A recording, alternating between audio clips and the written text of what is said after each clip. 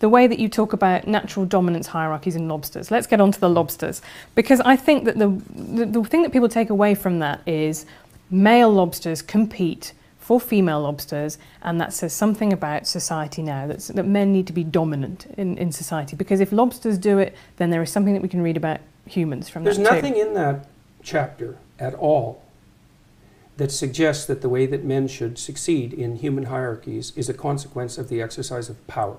There's not one line in that entire book that's, that claims that because it's not what I believe. Most human hierarchies, as I already pointed out, are hierarchies of competence, not power.